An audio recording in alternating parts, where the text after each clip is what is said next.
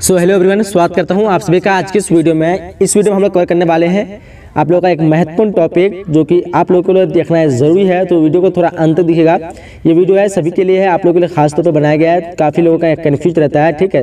तो यहाँ पे हम लोग आज कवर करने वाले क्या है कि ओ सीट जो एग्ज़ाम होता है उस पर, आखिर उसका चेकिंग किस प्रकार होता है, कैसे उसका रिज़ल्ट आता है, और क्या क्या कंडीशन है, किस तरह अगर लिखें तो हमको मार्क्स मिल पाएगा, या फिर किस तरह लिखने पर हमको मार्क्स नहीं मिल पाएगा तो पूरी डिटेल से हम लोग लाइव प्रूफ देखेंगे इस वीडियो में।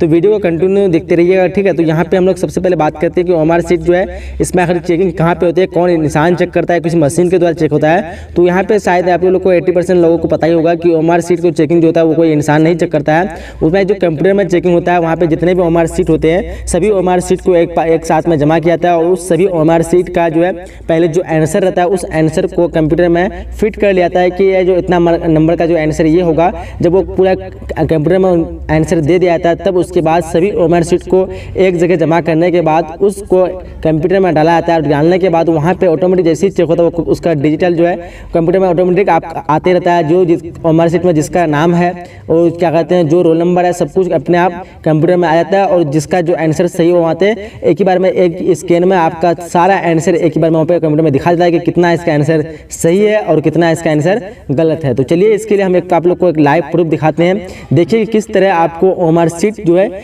चेकिंग होती है। तो उसके लिए जो सभी ओमर सीट क्या करता है, एक जगह जमा कर लिया था जो मतलब जिसका पार्ट जो चेक करने का होता है, बाकी उम्र से आप लोग देख पाएँगे कि दो तरह की चीज़, एक तरह नाम पता रहता है लिखा हुआ और एक तरह लेता है मार्किंग का। तो इस तरह दो भागों में बांट दिया जाता है। फिर उसमें क्या होता है कि जो मार्क्स वाला आता है, उसको लिए एक साथ लेकर के, उसको मशीन का एक जो होता है, एक पार्ट में जहाँ पे आपको उमर सीट का एक अलग से मशीन होता है वो।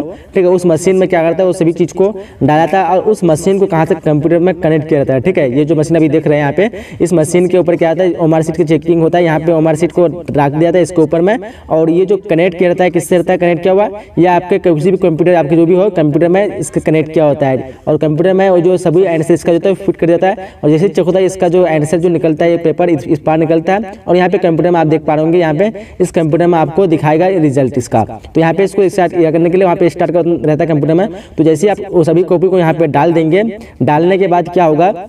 कि आपको वहाँ पे कंप्यूटर में जाना है और जाने के बाद यहाँ से स्टार्ट का जो बटन दिख रहा है, ये स्टार्ट वाला बटन इसमें आप लोग को क्लिक करना है। मतलब आपको नहीं क्लिक करना है जो मैं तो चेकिंग करता हूँ, उसको क्लिक करना है। जैसे वहाँ पे क्लिक करता है तो क्लिक करने के बाद यहाँ पे जितना भी हमारे सीट रखा रहता है, ये क्या होता है, उस मशीन में अपने आप ऑटोमेटिक रिप्लाई मतलब चले जाता है अंदर में। जैसे वहाँ स्टार्ट होने के बाद, ये एक एक करके यहाँ पे स्कैन होता है और स्कैन होने के बाद इस पार आकर के यहाँ पे गिरता है करके। जैसे एक एक स्कैन होता है, वैसे ही वहाँ पे नंबरिंग इसका कंप्यूटर में वहाँ पे दिखाते आता है। जैसे एक एक पेज स्कैन होता है एक एक पेज का डिटेल्स वहाँ पे कंप्यूटर में आते आता है कि कौन किसका कितना था। जैसे आप देख पाओ यहाँ पे, एक दो सीरियल बाई ऐसे नीचे नीचे आते रहता है, गिरते रहता है। तो यहाँ पे सभी का रोल नंबर मार्क्स और सब कुछ यहाँ पे अपने आप ऑटोमेटिक फिल हो जाता है। अगर आप लोग किसी इनमें से किसी का अगर चेक करना चाहते हैं तो वहाँ पे जैसे आप लोग देख पा रहे किसी एक पर टिक कीजिएगा जैसे टिक करने का दूसरे तो पूरा डिटेल्स यहाँ पे आपको मिल जाता है। तो यहाँ पे कौन किसका कितना मार्क्स मिला है, किसको कितना दिया गया है, कौन कितना भरा है, इस तरह आप किसी को भी एक बार चेक मार करके उसको आसानी से यहाँ से देख सकते हैं। सभी जितना भी एक मिनट में आपका हज़ारों कॉपी स्कैन हो जाता है तो यहाँ पे बहुत ही जल्दी रफ्तार होती है, इससे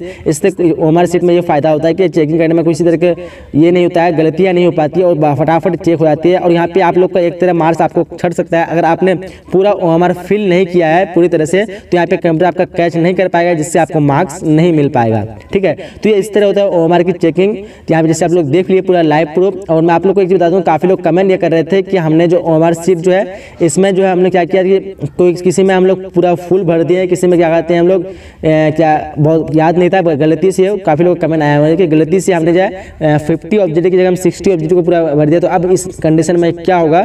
तो यहाँ पे आपका कंडीशन जो है, आपको दो खतरा हो सकता है। यहाँ पे आपका रिज़ल्ट जो है पेंडिंग में जा सकता है। पेंडिंग जाने के बाद फिर दोबारा उसका चेकिंग हुआ और वहाँ पे फिर दोबारा चेक किया जाएगा कितने मार्क्स जो अधिक बनाए। फिर वहाँ से आपका एक्स्ट्रा में जो दस बनाए हैं, वो दस को आप पीछे में वो मतलब हटा देगा। फिर आपका पचास का वहाँ पर मार्क्स दिया जाएगा। अगर ये चीज़ अगर पहले कंडीशन पता चल जाता है बिहार बोर्ड वाले को तो वो क्या पहले ही वहाँ पे पचास का मतलब लागू कर देगा कि यहाँ तक लेकिन वैसे आपका अगर साठ तक बनाए हैं तो वहाँ पे साठ में अगर हो जाएगा, अगर कंडीशन मतलब आपका पहले से लागू किया रहेगा तो वहाँ पे आपका पचासी का चेक होगा। अगर नहीं तो फिर बाद में पता चल पाएगा बिहार बोर्ड को तो इस तरह के बहुत सारे स्टूडेंट जो साठ का बना दिया है तो फिर वहाँ पे दोबारा उसका रिज़ल्ट तैयार किया जाएगा। तो इस तरह आपका रिज़ल्ट पेंडिंग में जा सकता है। बाकी आप एग्ज़ाम के बाद ही आपको पता चल पाएगा क्या होगा, नहीं होगा। तो आप लोग इसे देख लिए इस तरह की मशीन में आप लोग का ओमर सीट चेकिंग होता है। तो चलिए, यहीं तक वीडियो को हम समाप्त करते हैं। मिलेंगे अगले नए वीडियो में। जब तक के लिए जय हिंद, जय Bharat and thanks for watching